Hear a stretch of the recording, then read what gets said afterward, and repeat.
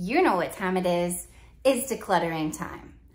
I have been a minimalist for just over three years and it has absolutely become a lifestyle. So decluttering and minimalism really go hand in hand because without letting go of the excess that doesn't serve us, then most often we just have brimming shelves, brimming drawers, brimming lives and we are not able to really focus on the things that matter the most. And so decluttering is such an important part of minimalism because in our culture, it's very common to even on a daily basis have free things coming in, pens from the bank, notepads from the hotel, free t-shirts from the run that we just did, free water bottles from the convention, free tote bags from the conference, you know what I mean. And so if we don't have a habit of decluttering just as a lifestyle, then it's going to pile up and pile up and pile up and we're gonna need to do these big declutters. Don't get me wrong, I've absolutely done huge declutters. We have given things away to different charities we believe in. We've had their trucks come and pick up things. David and I had a lot of things. Even though you wouldn't have necessarily known it, we were very tidy, you wouldn't have walked in our home and been tripping over things, but we had way, way, way more than we needed.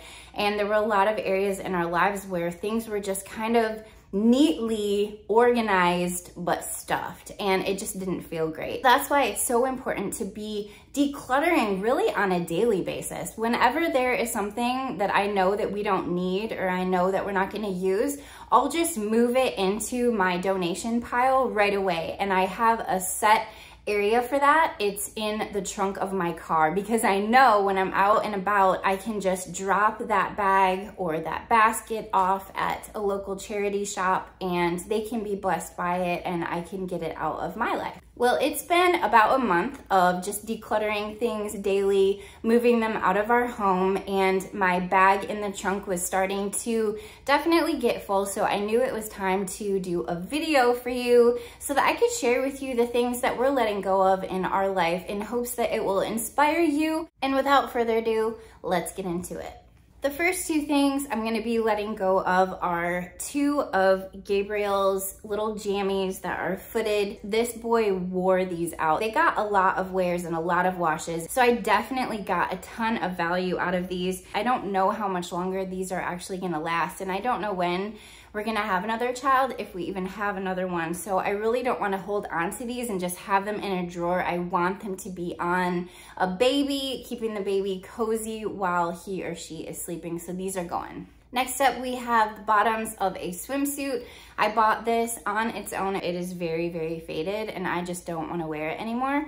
So I'm gonna donate it, hoping that if they don't sell it, that they will do some recycling of the fabric, hopefully. This is a tank top that David no longer wears. He loves wearing tank tops when he goes to the gym, but this one is crazy thick and he doesn't reach for it, so he was ready to let this one go. This is an active wear top that has served me very well. I thrifted this years ago and it has a little drawstring at the bottom so you can tighten it.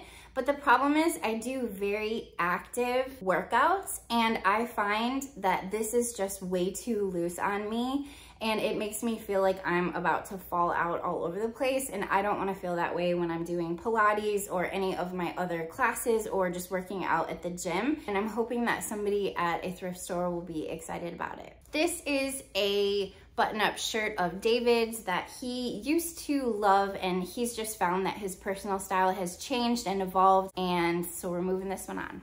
Oh, here's the third little sleeper that went in that set for Gabriel. This one is in really great shape, so I think I'm going to run this by Once Upon a Child and see if they want to sell it. Hopefully this is gonna go to a precious little baby somewhere. These are two very old shirts that we use for work shirts, but this is an area where it's easy for things to just kind of pile up and we have yard work shirts or painting shirts, but how often am I painting? Am I doing yard work, cutting the lawn, washing the car? Because chances are you probably get by with just a couple work shirts. That's what we've decided to do. So we've slowly been whittling down and these were the last of David's two work shirts because his gym shirts have gotten to a point where they're kind of deteriorating. And so we're gonna move these two out and we're gonna bring some of his workout shirts into kind of the play work category. These little circles, my friend. If you're wondering if a one-year-old can fit this in their mouth, the answer is yes. I didn't think that Gabriel would be interested or really able to fit this entire thing in his mouth. I don't know if you can see, but it's actually pretty big. And sure enough, we were right there with him and looked and he had the entire thing just like in his mouth, but it, he definitely couldn't close his mouth. We'll just say that. It was very scary, way too big for him to swallow, so it really wasn't a choking risk, but we are not messing with it. And there are several of these. A friend actually gave us a bag of these different foam blocks and they have arches and all kinds of stuff, but these are going to be donated because we don't have any desire to have Gabriel get his hands on these two pairs of work socks and I just upgraded David's workout socks. That's really about the only time he wears socks because we live in Florida and we live a very flip-flop Teva life. So he prefers ankle socks and so I just bought him a new set of those and so his old ones can now be his work socks and I'll probably only keep one or two pair but these haven't been worn in a very long time. So I might use these for dusting cloths and I probably will actually turn these two shirts into dusting cloths and just kind of work towels because the likelihood of a donation center actually using these and selling them is very low and I don't want them to end up in the landfill.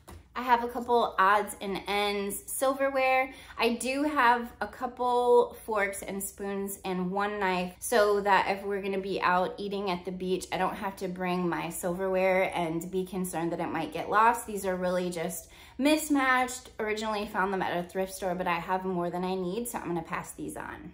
These are shower curtain hooks. I just bought a new shower liner and these hooks are from the new shower curtain, but we actually used the old ones and they're in perfect condition, so I'm gonna donate these brand new ones. I bought this tankini brand new at a thrift store when I was pregnant for Gabriel and I thought it was just gonna be handy for those days that I didn't feel like showing my tummy or I didn't wanna wear a one piece. I've honestly only worn this a couple times and it's just not my style. I'm not into ruffles and I just wanna pass it on to someone else and since we live in Florida, I'm pretty sure this will go to good use. I can't believe I'm saying this, but it is time to retire my Star Wars shirt. This is one of my favorite shirts ever. I got this years and years ago. I'm talking probably 10 years ago and it definitely shows. It's not excellent quality. It has a little bit of polyester in it. Yeah, it's 55 cotton, 45% polyester. So it's definitely pilled. It has at least one hole that has run and I wear this thing very rarely now. I find that I wear it a lot when I travel because it's light and breezy, but I'm trying to think of something fun that I can do with it to honor the shirt.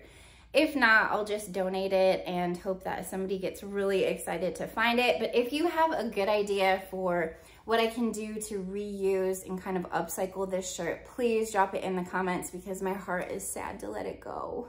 I also have some random spools of thread I feel so blessed to have my grandma's little sewing kit that had many different colors of thread. And I went through it the other day when I was sewing up some holes from different pieces of clothing. And I found that these four colors were either repetitive in my sewing kit or just colors that I don't wear, Gabriel doesn't wear and David doesn't wear. So I know I'm not gonna be needing them and I just want to pass them on to someone else. I hope whoever gets them appreciates the fact that they are so old this one was 15 cents. So these have to be super, super old, but I'm gonna pass these on. Next up is my beloved Woolly Bear blanket. I grew up with a blanket that was very similar to this, but I think it has a polar bear on it. This one is a teddy bear, and I got it at a garage sale when I lived in another state probably about eight years ago. And I've just been finding that we don't reach for it and we very rarely have occasions that we need to use it.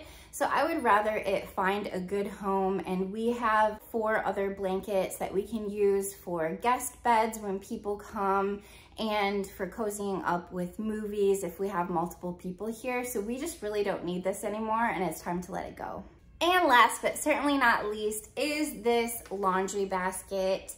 I have another laundry basket that is identical to this and then I also have a smaller circular one and I have found with the fewer possessions we have, the smaller amounts of laundry we have to do.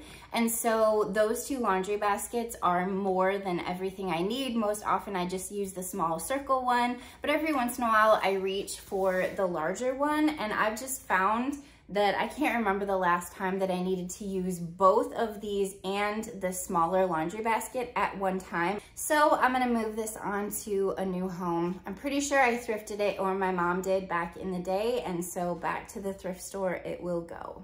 And that, my friends, is everything that I will be decluttering. I'm gonna be packing all of it up. If I'm gonna possibly be selling any of it, I'll set those things aside, drop them off to the store, and if I find that I'm just not getting to it within the next two to three days, I'm simply gonna donate those other items. If you learned anything helpful or just enjoyed this video, please give it a thumbs up. I would also love if you would subscribe if you haven't already, and be sure you click that little notification bell so that you get alerted when I upload a new video.